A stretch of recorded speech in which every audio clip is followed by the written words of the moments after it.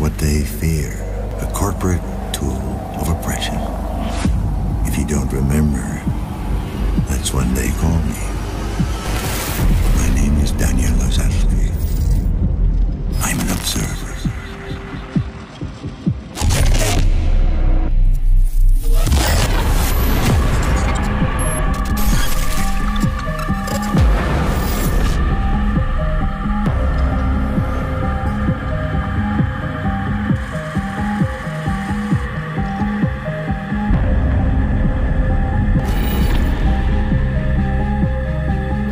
Careful what you say.